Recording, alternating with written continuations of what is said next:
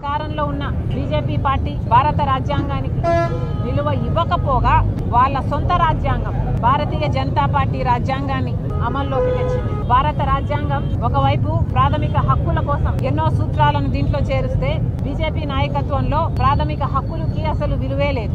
బీజేపీకి వ్యతిరేకంగా మోడీకి వ్యతిరేకంగా ఎవరు మాట్లాడినా వాళ్ళ గొంతును నొక్కేయడం ఆఖరికి అది మీడియా అయినా సరే లేకపోతే ఏ నాయకులైనా సరే మరి ముఖ్యంగా ప్రతిపక్ష పార్టీలో ఉన్న నాయకులు ఎంతటి నాయకులనైనా సరే ఆఖరికి వాళ్ళ మీద రేట్లైనా చేయిస్తారు అరెస్ట్లైనా చేయిస్తారు. ఎంతటికైనా దిగజారుతుంది బీజేపీ పార్టీ అని మళ్ళీ మళ్ళీ రుజువు అయింది. స్వేచ్ఛ అనేది లేకపోగా ప్రభుత్వ సంస్థలను ఈడీ అయినా సిబిఐ అయినా ఇన్కమ్ ట్యాక్స్లనైనా మీడియాలనైనా ఎలక్షన్ కమిషన్ అయినా కూడా తన గుప్పెట్లో పెట్టుకుంది బీజేపీ పార్టీ.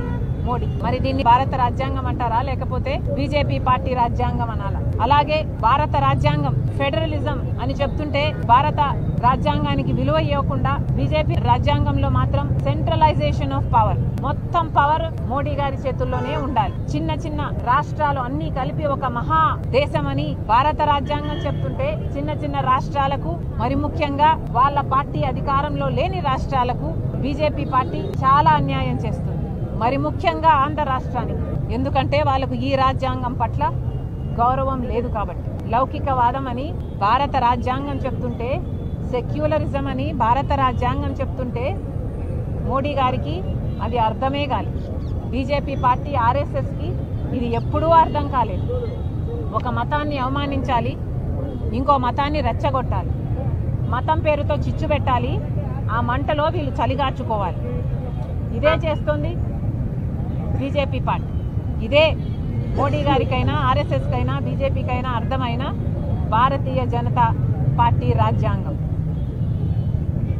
ఉత్తరప్రదేశ్లో అయితేనేమి ఒక గోత్రాజ్లో అయితేనేమి లేక మణిపూర్లో అయితేనేమి మైనారిటీలకు అసలు స్వేచ్ఛ లేదు. ఇంతమందిని ఊచకోత చేశారు అంటే దానికి కారణం లౌకికవాదమే ఉండకూడదు అని మోడీ గారు ఆర్ఎస్ఎస్ చేస్తున్న కుట్ర వాళ్ళు చేస్తున్న అమలు పరుస్తున్న భారతీయ జనతా పార్టీ రాజ్యాంగం. సమానత్వం అని భారత రాజ్యాంగం చెప్తుంటే అసలు మామూలు ప్రజలు గురించి ఆలోచనే చేయని పార్టీ బీజేపీ పార్టీ మోడీ అయినా వాళ్ళు అనుసరిస్తున్నది సమానత్వాన్ని కాదు. కొంతమంది చేతుల్లోనే మొత్తం డబ్బంతా ఉండాలి. వాళ్ళకు చెందిన వ్యాపారస్తుల చేతుల్లోనే అన్ని వ్యాపారాలు ఉండాలి. అదాని వాళ్ళ మనిషి కాబట్టి వాళ్ళు అదానిని పది సంవత్సరాలలోనే ఆకాశానికి ఎత్తేయచ్చు. అదాని ఏ తప్పులు చేసినా ఒక్క ఎంక్వైరీ కూడా ఉండదు. ఏ అరెస్టులు ఉండవు. ఆఖరికి ఎఫ్బిఐ వాళ్ళైనా అమెరికా వాళ్ళైనా అదాని దోషి అని ఆధారాలతో చూపినా కూడా ఒక్క ఎంక్వైరీ కూడా చేయరు. ఇది బీజేపీ పార్టీ అనుసరిస్తున్న వాళ్ళ రాజ్యాంగం. ఈక్వాలిటీ అన్న పదానికి అర్థమే లేదు. సామాజిక న్యాయం అని మన రాజ్యాంగం చెప్తుంటే సామాజిక న్యాయం కాదు కదా. ఎస్సీలు ఎస్టీలు బీసీలు మైనారిటీలు అసలు మనుషులుగానే చూడదు భారతీయ జనతా పార్టీ ఆర్ఎస్ఎస్.